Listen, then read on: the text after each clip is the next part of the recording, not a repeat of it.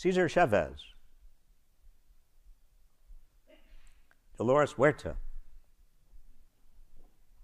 I saw Dolores not long ago.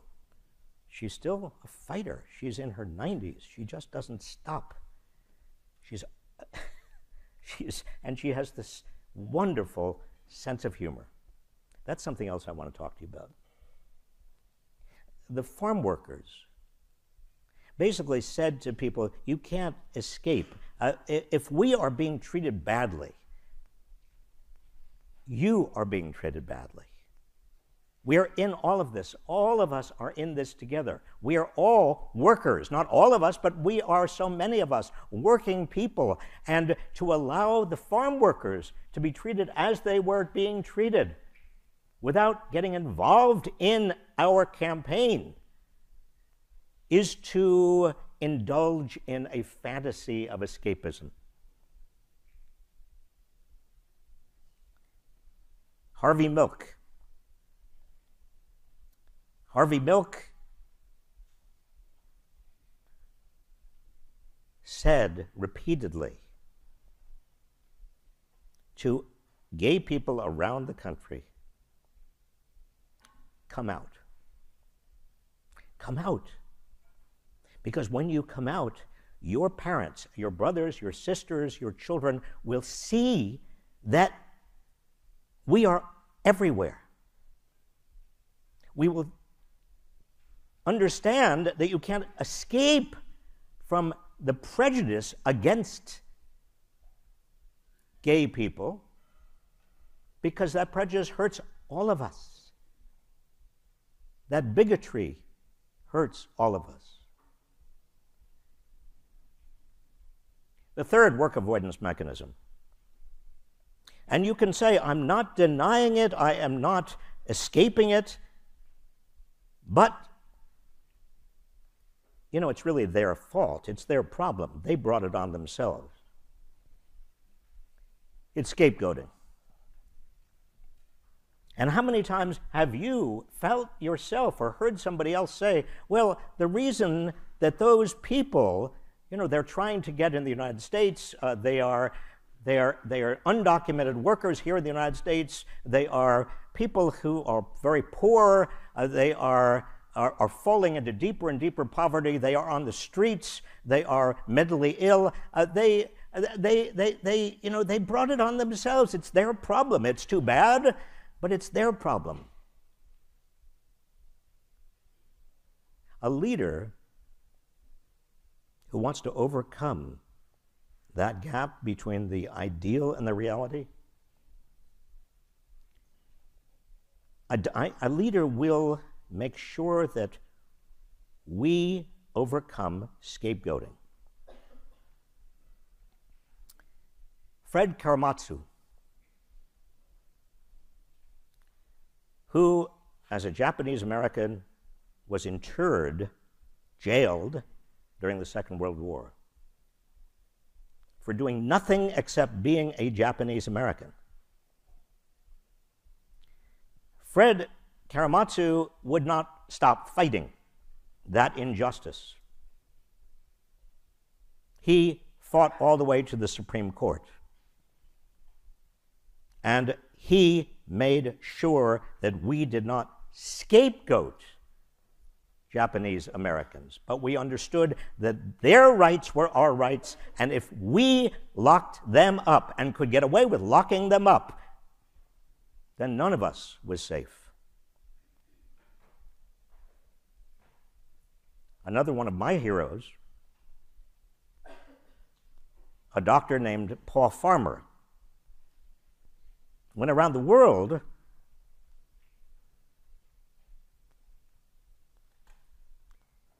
making sure that as many people as possible were inoculated against tuberculosis and other diseases. But what he really told us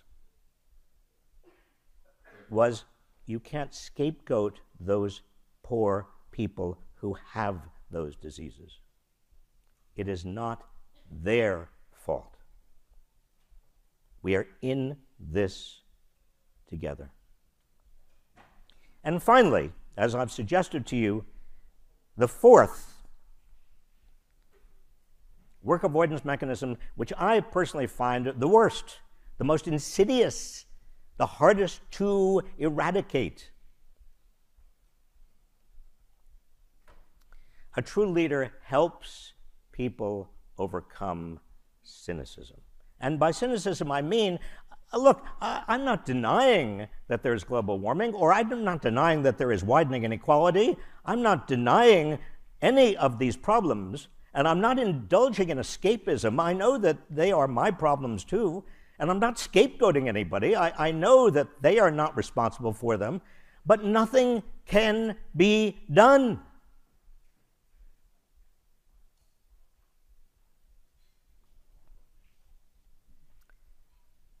Nothing can be done.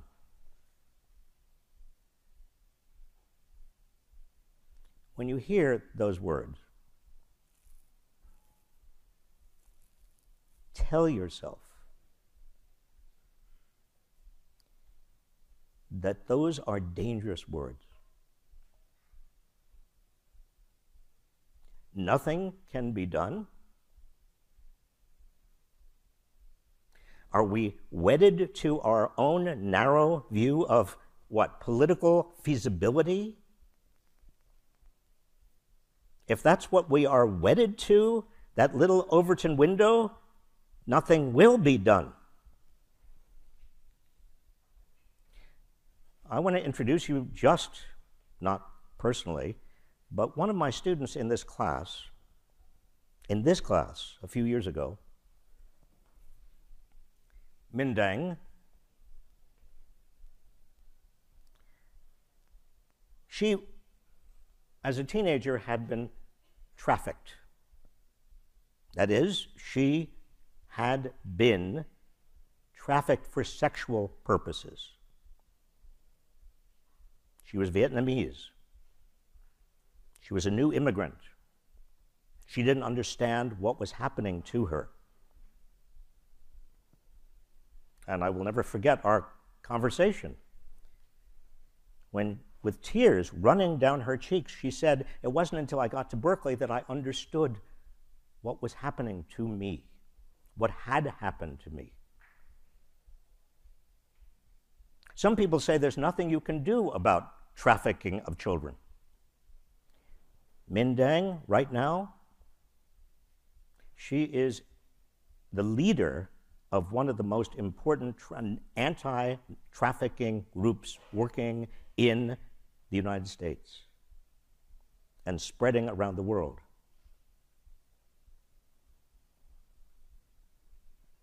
Another person who was in this class not long ago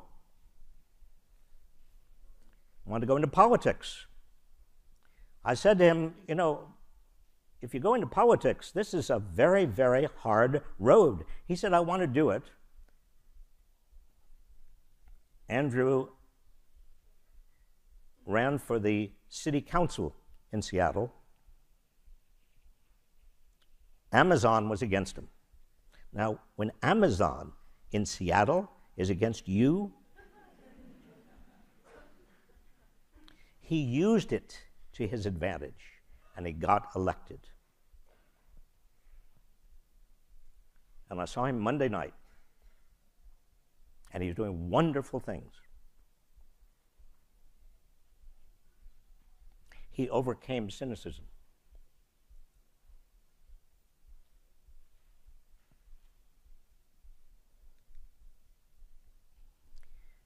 Which gets me to you, you, you, you and you. And you.